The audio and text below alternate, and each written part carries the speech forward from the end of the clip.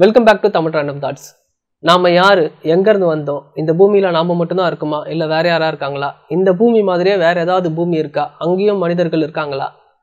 நம்மளோட பூமியோட வடிவம் என்ன? பூமி சூரியன் சந்திரன் இதெல்லாம் எப்படி வந்துச்சு? எப்படி அதனுடைய அளவை கண்டுபிடிச்சாங்க? எவ்வளோ தூரத்தில் இருக்குதுன்னு எப்படி சொன்னாங்க? இதெல்லாம் இன்னைக்கு நாம் கண்டுபிடிச்சிரும் சேட்டலைட் வச்சுருக்கோம் ராக்கெட் அனுப்புகிறோம் அதெல்லாம் சரி. பட் அந்த காலத்தில் எப்படி கண்டுபிடிச்சாங்க?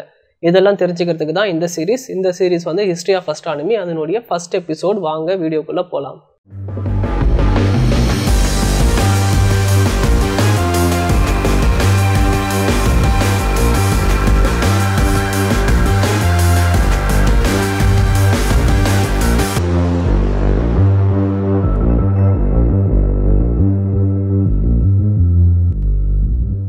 இன்றைக்கி நான் உங்ககிட்ட உங்களுடைய ஊருக்கு பக்கத்தில் என்ன இருக்குன்னு கேட்டால் அழகாக சொல்லுவீங்க இல்லையா? இப்போ சென்னைக்கு பக்கத்தில் திருவள்ளூர் இருக்குது அதே மாதிரி கோயம்புத்தூர் பக்கத்தில் ஈரோடு இருக்குது இப்படி எல்லாமே உங்கள் உங்கள் சொந்த ஊருக்கு பக்கத்தில் என்ன ஊர் இருக்குன்னு சொல்வீங்க ஆனால் ஒரு காலத்தில் உங்கள் ஊருக்கு பக்கத்தில் என்ன இருக்குதுன்னு சொல்லி கேட்டால் பெரிய பள்ளம் இருக்குதுன்னு சொல்லுவாங்க. இது உங்களால் நம்ப முடியுமா? ஆனால் அதுதான் உண்மை.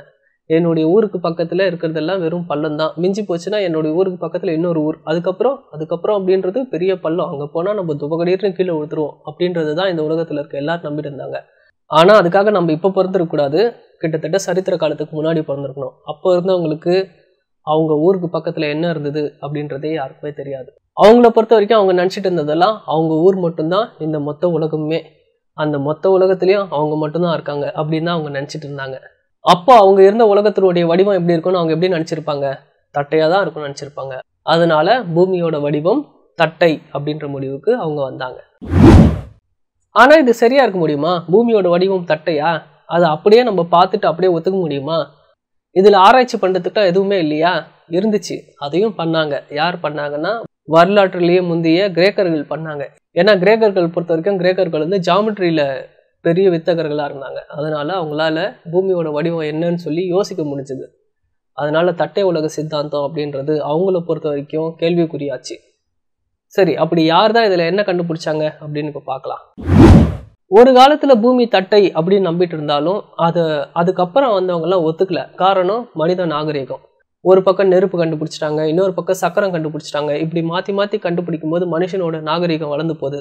அது மட்டும் இல்லாமல் மனித மக்கள் தொகையும் ஜாஸ்தி ஆகுது ஸோ ஒரு ஊர் அப்படின்றது மட்டும் இல்லாமல் அதை தாண்டி இன்னும் பெரிய நிலப்பரப்பு ஒவ்வொரு நிலப்பரப்புலேருந்து இன்னொரு நிலப்பரப்புக்கும் மக்கள் போக ஆரம்பிச்சிடறாங்க அதனால் ஒரு சின்ன ஏரியாவாக இருந்த அந்த உலகம் அப்படின்றது அப்படியே கொஞ்சம் கொஞ்சமாக விரிவடைஞ்சிட்டே போகுது. ஆனாலும் பூமியோட வடிவம் அப்படின்றது அவங்க தட்டியாக தான் நினச்சிட்டு இருந்தாங்க. கிரேக்கர்கள் வர வரைக்கும். கிரேக்கர்கள் தத்துவம் அறிவியல் இதுக்கெல்லாம் கொடுத்த மிகப்பெரிய கொடை அப்படின்னே சொல்லலாம். அவங்களுக்கு வந்து ஜாமெட்ரியில் பயங்கரமான நாலேஜ் இருந்தது. அந்த நாலேஜை வச்சு அவங்க வந்து பூமியோடைய வடிவம் எப்படி இருக்குன்னு சொல்லி கண்டுபிடிக்க நினச்சாங்க. இந்த டைமில் கிமு ஐநூறாம் நூற்றாண்டில் ஹெக்காட்டியஸ் அப்படின்ற கே கிரேக்க ஞானி பூமி அப்படின்றது ஒரு மாதிரி வட்டம் அப்படின்னு சொன்னார். அது சரி இந்த பூமி எது மேலே நின்றுட்டுருக்கு அப்படின்னு கேட்கும்போது ஒரு நாலு கம்பம் அது மேலே தான் இந்த பூமி நின்றுட்டுருக்கு அப்படின்னு சொன்னார். இது ஏதோ அந்த காலத்தில் மட்டும் நடக்கிற ஒரு மாதிரியான விஷயம் கிடையாது.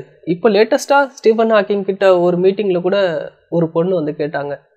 பூமி வந்து நீங்கள் சொல்கிற மாதிரிலாம் உருண்டை கிடையாது அது ஒரு தட்டை அப்படின்னு உடனே ஸ்டீஃபன் ஹாக்கிங் கேட்டார். அப்படியா? அந்த பூமி எது மேலே இருக்குது அப்படின்னு கேட்கும்போது ஒரு பெரிய ஆமை மேலே இருக்குது அப்படின்னு சொல்லி அந்த லேடி பதில் சொன்னாங்க.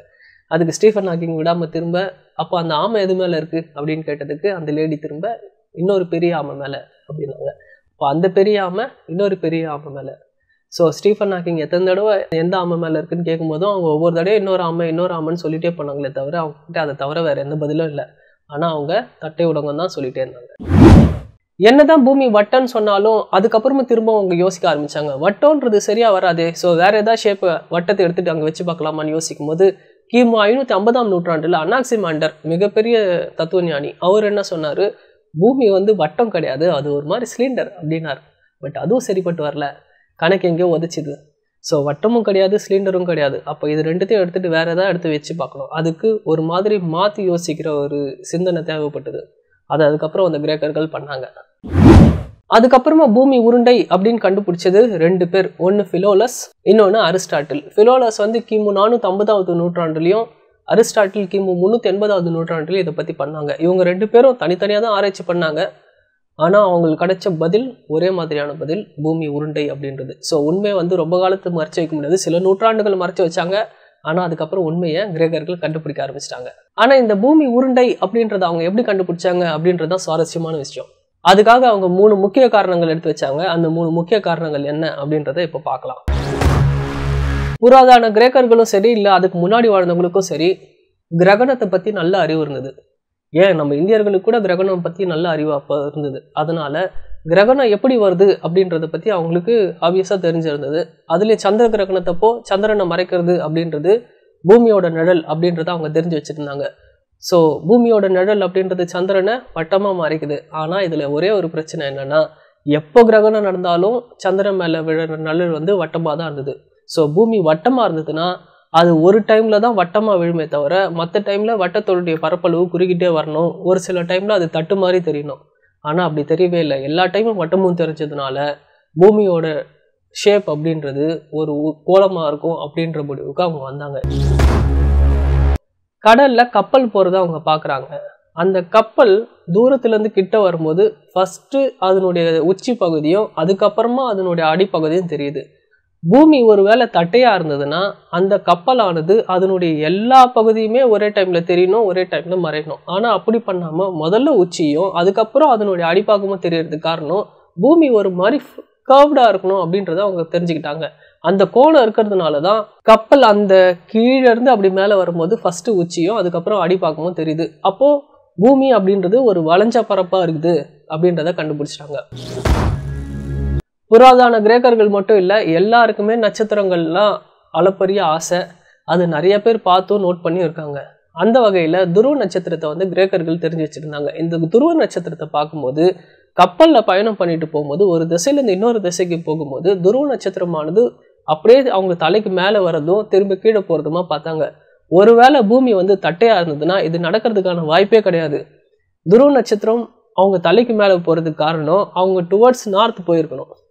அப்படி நார்த் போக போக தான் துருவ நட்சத்திரம் அவங்க தலைக்கு மேலே வருது. அதுலேருந்து திரும்ப ஈக்குவட்டார் பூமத்திய ரேகை பக்கம் வந்தனா துருவ நட்சத்திரமானது கீழே போயிடும். சவுத் போல் பக்கம் போனீங்கன்னா துருவ நட்சத்திரம் உங்களுக்கு தெரியவே தெரியாது. இப்போ கூட நீங்கள் பாருங்கள் ஆஸ்திரேலியாவுக்கு போனீங்கன்னா நம்மளோட துருவ நட்சத்திரத்தை அவங்களால பார்க்க முடியாது. ஸோ இது மூணுத்தையும் வச்சுக்கிட்டு அவங்க வந்து பூமியானது ஒரு கோலம் அப்படின்றத கண்டுபிடிச்சாங்க. இதனால தட்டை உலக சித்தாந்தம் அப்படின்றது சுக்குநூறாக ஒடிஞ்சு போச்சு அப்படின்னு தான் சொல்லணும். இதுக்கு முக்கியமான காரணம் ஃபிலோலஸும் அரிஸ்டாட்டலும் தான். இன்றைக்கி நாம் நவீன கண்டுபிடிப்பு வச்சுருக்கோம். சேட்டலைட்லேருந்து படம் எடுக்கிறோம். ஃப்ளைட்டோடைய பாத் அப்படின்றதே பூமி கோலமாக வச்சு கன்சிடர் பண்ணி தான் ஒரு பாத் ஒன்று போடுறோம்.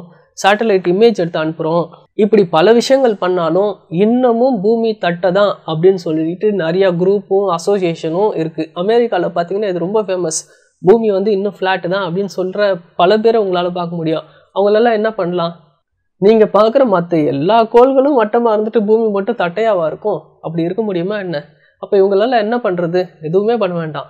இவங்களுக்கெல்லாம் அதை கண்ணால் காமிக்கணும். அப்போ தான் அவங்க நம்புவாங்க. ஸோ இவங்களெல்லாம் ஒரு ராக்கெட்டில் வச்சு ஸ்பேஸுக்கு அனுப்பிடுவோம். ஸ்பேஸில் வந்து அவங்க பூமியை பார்த்தா பூமியை சுற்றி வரும்போது பூமி வந்து ஒரு கோலம்னு தெரிஞ்சிடும் பட் அவங்களுக்கு பனிஷ் பண்ணுமே என்ன பனிஷ் பண்ணுறது அப்படி போய் பூமி கோலம்னு பார்த்ததுக்கப்புறம் அவங்க நம்பிடுவாங்க பூமி கோலம் தான் ஆனால் அவங்கள திரும்ப பூமிக்கு எடுத்துகிட்டு வர வேணாம். அப்படியே ராக்கெட் எங்கே அனுப்பிச்சிடலாம். அவங்க சந்தோஷமாக போட்டோம் வேறு எங்கெங்கெல்லாம் கோலம் இருக்குன்னு சொல்லி பார்த்துக்கிட்டோம். ஸோ இந்த வீடியோ உங்களுக்கு பிடிச்சதுன்னா லைக் பண்ணுங்கள் ஷேர் பண்ணுங்கள் அஸ்ட்ரானமி பிடிச்சவங்க எல்லாமே கமெண்ட் பண்ணுங்கள் இன்னும் என்னென்ன வீடியோ வேணும் அஸ்ட்ரானமியில் அப்படின்றத உங்களுக்கு கீழே கமெண்ட்டில் சொல்லுங்கள் இந்த வீடியோ பிடிச்சிருந்ததுனாலும் சொல்லுங்கள் அண்ட் எல்லாருக்கும் ஷேர் பண்ணி விடுங்க. அடுத்த வீடியோவில் நான் உங்களை பார்க்குறேன். அண்டில் தென் பாய்